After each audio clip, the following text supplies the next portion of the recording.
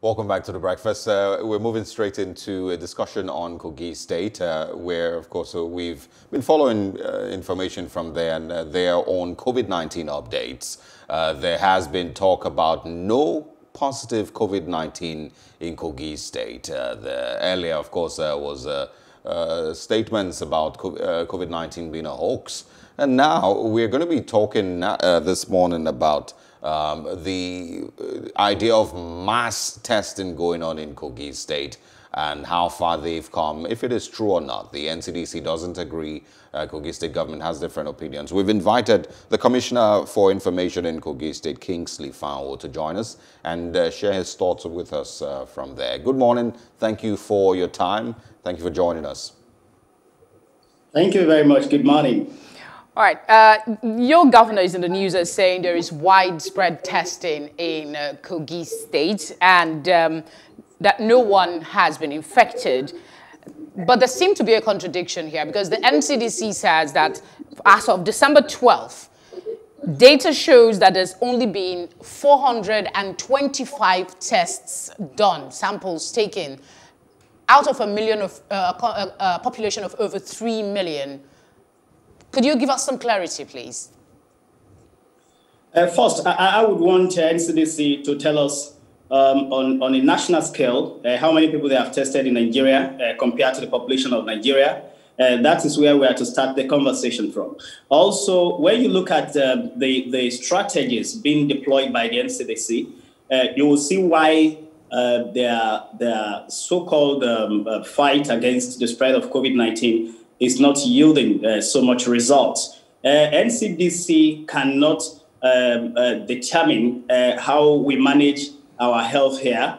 Uh, we've done we've done very well in Kogi State in terms of uh, health management. We did well with Lassa fever. We did well with COVID nineteen. We did well with a lot of other uh, a lot of other uh, epidemics in the past. So we are managing our issues locally. I, I, just needed, I, I, I just needed clarification. And that's, having, and that's why we, ha- we are having the kind of result uh, so that we are having in the state. I'm, so I'm actually looking for clarification I'm actually looking for clarification on the aspect of mass testing. If you're mass testing and you only have on record 425 people, is it that the state has its own record of these figure that is not made available because when the, when you hear the word mass testing automatically what comes to your mind is that a large number of people have been tested so and, if and you yes. are dis, you're not in conformity with the figures being given by the NCDC what figures are you putting forward? NCDC is in Abuja and they are giving the figure of 400 plus. We are in Kogi State and our governor has said mass testing and we know that we have tested uh, massively. Uh, is, is, there a, is there a figure that you so can share with us? We know that thousands of people have been tested in Kogi State. Can you, uh, it, is, Mr. it is the responsibility of no, it is the responsibility of NCDC uh, to connect these two together. Yeah, but uh, Mr. Fanwo, this is this is what we what this is what we hope that we can be able to reconcile with what they have. Yeah, apologies. This is what we hope that we can um, get out of you this morning. If there is mass testing, we can't argue. Uh, but uh, is there possibility that you can give us an estimate? Um, you've just mentioned thousands. Kogi State has a 3 million plus population. Mass testing, you know, I would, I, I, you know, assume, you know, would maybe be 500,000, 200,000, 300,000 people tested so far. So can you give us an estimate of the, you know, people that have been tested so far in Kogi State before my next question? Yeah, I'm very happy with the word estimate that uh, you used uh, because we uh, tests tests uh, are carried out uh, virtually on daily basis. So we may not be able to give accurately uh, that this is the number, but I, I, am very sure we are close to the 200,000 mark. Uh, and when you have that compared to the population of the country, compared to the availability of kits, then we've done very well. where, um, I am not sure if you know, but you know, availability of kits for Kogi State. How are you making that possible? We have enough kits in the state. Uh, we have enough kits. We've made our own arrangements we are not depending on NCDC in managing this um, issue because uh, we, we, we've sensed a lot of foul play from the beginning, and the healthcare of our people uh, is, is a priority as an administration. So the governor is doing a lot uh, to ensure that the healthcare of the people are well taken care of. So no, we are not depending on them. To be, we are finding uh, local solution to the issue. Again, there seemed to be a contradiction here because the governor in the interview is um, quoted as saying, um, having uh, concerns about the procurement of vaccine. He's saying that we shouldn't spend that money to procure vaccine. Um, governor, one would, the, one would the, think the that if the governor is saying you, you don't need vaccine, it validates position that you don't think that there is indeed COVID-19 and the, the claims no, no, no, of testing is not valid. The governor, the governor had never said there is no COVID-19. What the governor kept saying is that the management of COVID-19, the hype around it, the promotion of COVID-19 is unfortunate. And what he was talking about the vaccine is that we are in we are in a recession as we speak. We are trying to rebound the economy out of that very terrible recession. So for you to now deploy billions to combat um, COVID 19 that have killed less people than most of the ailments that we are not attending to is unfair, is unfortunate, and is a waste of resources. That is our position on that. And we know that the issue of uh, uh, procurement of vaccine is being pushed by uh, the promoters of, NC, uh, of uh, COVID 19 now, especially NCDC, by creating a panic situation around the country again. How many people died in 2018 in Nigeria? How many people died in 2019 in Nigeria? How many people died in 2020 in Nigeria? Less people died in 2020 in Nigeria than in 2019, the so called year of the pandemic. So we, we are saying that COVID 19 is not that kind of, a, a, a, that kind of uh, an ailment that you you you deploy all the resources of the nation to that you close down the economy of the nation and push us into hunger and recession. The, that is what we are saying about right. it. Yeah, so we clarify, are not saying there is no uh, coronavirus. Just to clarify, um, COVID-19 became you know fully blown in 2020, not 2019. Um, um, of course, it was discovered later, 2019, in uh, China. But I, I, I want to, uh, you know, ask a question. You know, the claim that there is no positive case of COVID-19 in Kogi State. Uh, Kogi State, of course, um, is um, neighboring to Benue, to Enugu, Edo, and of course the FCT, um, which have in all these states seen a lot of numbers of uh, positive cases uh, found. Is there a travel ban between Kogi State and any of these states? And how has the Kogi State government been able to ensure that no positive case from the neighboring states has come into Kogi State? Uh, thank you very much. What we are doing in Kogi State, what the governor is doing in Kogi State, is dealing with the people very, very honestly. Authorities in Nigeria authorities that are charged with the responsibility of managing our healthcare in Nigeria are not sincere with Nigerians. Uh, there, was, um, there was an epidemic uh, uh, uh a couple of months ago in Enugu State that killed so many people.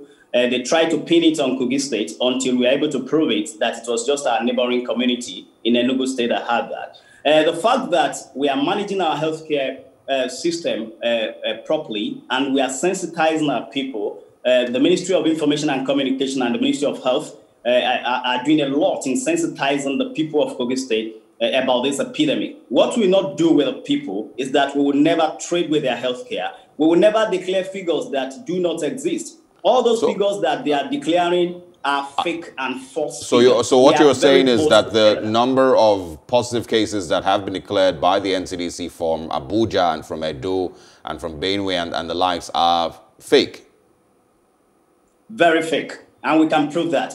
And at a point, if they continue to push this country uh, into the kind of um, the, their business that they are doing, we will have no choice than to drag them to the court uh, to seek redress. And for us to set this uh, thing, uh, uh, to, to, to, to, to lay down once and for all and settle it. I, I think we, we don't have to be this insincere with our people. COVID 19 is not a threat to us we should stop, we should stop raising panic. We should stop placing our finger on the panic button so as to create the chance for so many people to make, for some very few people to make billions of naira while pushing the country into recession, hunger, and lack. Okay, since you're since you're taking this conversation in that direction, let me ask you what the security situation is in the state and what level has the government gone to ensure at least a minimum compliance with some of the basic standards to protect uh, of basic hygiene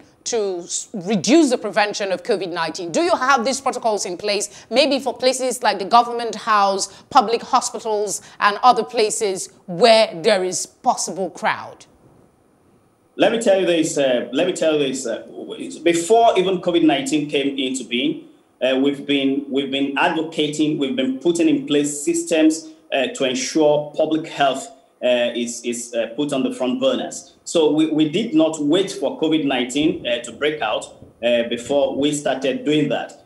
our health system in the in the state is one of the best in the country, and that was attested to by the former Minister of Health when he came to the state. the Bello Care and all that and we're about the, one of the very first few states to start a health insurance scheme uh, now uh, that we have kick-started. Uh, even government officials are, are paying more than they should pay so that it will be able to spread to the indigent in the rural communities. That is what we are doing in the state. It, it doesn't have to be about COVID 19 before you promote uh, public health. On security, every Nigerian knows uh, that the major problem of the nation is what Kogi has found a solution uh, to, which is the problem, uh, which is the issue of security. You might have uh, one flash here and there, but the way we deal with the situation is what separates us from others. Uh, we've been able to, uh, to a very large extent, ensure security in the country, in, in our states, so to say. And the way we have been able to do this is to involve the locals. Our local hunters are involved the Fulani herdsmen in our rural communities are involved in those decisions. So it is it is uh, rare to, to hear that the Fulanis are raiding communities uh, in Kogi State. We are doing a lot to uh, be able to sort out the, the few flashes that we have, but to a very large extent, the governor has proven that what is the problem of Nigeria, he has been able to solve it in Kogi State. What would you say uh, might be the reason? And, and I would first of all ask, do you know anyone personally who may have uh, been infected with uh, COVID-19 in the period, um, in the 2020 year? No, I, I didn't know anyone. Okay. Um, I, I, did not meet anyone who had COVID nineteen. Uh, maybe not in Kogi State, but um, do you do you agree, or do you think that maybe you know some of the numbers also of the dead uh, are also false? Very false because people have been dying before COVID 19 and they will continue to die even after COVID 19. What about so, these prominent uh, figures that we. Is, uh, is unfair, it's illogical. But what, what about, that, sorry, uh, sorry to think, uh, interrupt. Uh, sorry, excuse me, please. Excuse me, please. I, I think the media has a big role to play here uh, to be able to sensitize our people. What, should we, should, what we should be talking about now is the danger of hunger that is staring us in the face. So we should devote our energy to rebounding our economy, hunger, hunger, Mr. Food, Mr. Fanwo, hunger has been not promoting this pandemic uh, that is uh, that's the cost. hunger, but let me let me. Hunger has been with us for a long time. Even with all the fantastic strategies that put that governments across the state seem to be putting in place, we still have people that live in abject poverty. I believe we have scenarios like that in Kogi State. But we're talking about a situation that is seen as a pandemic. I, I want to go back to your comments about the deaths also being fake. We have prominent names whom their families and government have come out to say died of this. Uh, uh, one of the most prominent names that can come to my mind readily is Kyari, the president's uh, chief of staff. Kyari is said to have died from COVID-19 complications. We also know other big names. The army that is in charge of security in this country has come up to say some of their officers, one of them, after a conference recently, died of COVID-19. Are you saying that all of these figures are wrong? That this is inaccurate? Let me, let me start by let me start by saying this. President Muhammadu Buhari is one of the best to have happened to this uh, country. They know that he's a man of integrity, uh, a man of character, a man who came with the Buhari-nomics of ensuring that we diversify our economy and uh, put more into agriculture. Uh, because they know they, they, they know the trend the man was going, they needed to bring high-profile names into the death to be able to convince to be able to convince the man and drive fear into the man. So, so you're not saying, so are you saying, are you saying, so not true. I, I, are you I saying that the, that. are you uh, saying, Abba, Abba, can you hold on? Okay, let him finish. If you, if you investigate, if you do a lot of investigative journalism, you will discover that Abba Kyari had some other ailments before COVID 19. So if he had that and those things were not managed in the country before. You had to you had to fly them abroad to manage them, and you now lock down everywhere, and nobody could go out. And now he could not go out to manage those issues, and he died. And you are saying it's COVID nineteen. Are you um, NCDC will soon be dragged. NCDC will soon be dragged to the law court. are you are you then saying? Are you then saying that the uh, President Muhammadu Buhari doesn't have the true picture of what is going on in, in Nigeria today with regards health? Are you saying that he is being lied to? Are you saying that he has a team around him that is not being honest with him and he is not aware of the true picture of Nigeria's health uh, situation? They are telling him what they want him to believe. Yeah, well, I get that. You know, what own, I'm asking is in their own interest. I, I, I, get, I get that. That's what you've said. What I'm asking is, yeah. are you then saying that President Muhammadu Buhari, um, as the president of the Federal Republic of Nigeria, doesn't know the true story of Nigeria's health um, um, situation? If they are and, telling and him that, what they want to believe, be, and what they are telling him is not true, yeah. then I think uh, my, uh, your guess is as good as mine. I'm not guessing. I'm just I'm asking. So would you say the same thing? You know, is very likely with regards to security. He may not also know what's really going on with regard to security in Nigeria today. He's an expert in that line. He's not an expert in healthcare management. But he's a general and he understands what security is all about. He's okay. an expert in that line. But if, if, it is possible that he has, you know, because he's not also on ground all the time. He, he's not in Borno, he's not in Katsina all the time. He's in, he's in Aso Rock as the president. So it's, is it, is, if it is possible that he can get false information from the people that he appointed um, to manage his health, uh, the health situation in the country, including Boss Mustapha. um, do you then think that it's also possible that some of the people who are giving him information with regard to security are lying to him? Let me let me tell you this. It depends on how you process the security. Uh, sorry, the information you receive. If you, if you receive the information, if you look at the information around COVID, they said it's airborne. They said you cannot touch your face, you cannot touch your nose. It is uh, transmitted through the air, through the everything. They are confusing the situation. And the president is not a health care management expert. You cannot compare that to the issue of security. Uh, he rose to become a general in the Nigerian army, so he understands the security terrain very well. So right. it is it is not in Just the same line. It this, is not in the same line. So the information you give him in security, he has the expertise, he has the knowledge to process. This is this is this he is what this is what I want you to say. This is what I want you to say before you go. President Muhammadu Buhari doesn't know the true situation of Nigeria's health um, situation. Um, yes, I agree with that. No, I want you to say it. because he's been misled. I want to say thank you very much. Uh, we're out of time. Um, we appreciate your candor, even though, um, uh, I mean, a lot of persons will disagree with your position, but it is yours to make, and you represent the government of uh, Kogi State. We thank you very much for joining us uh, on The Breakfast, and we hope to speak with you again soon. Thank you very much. All right, have a good day.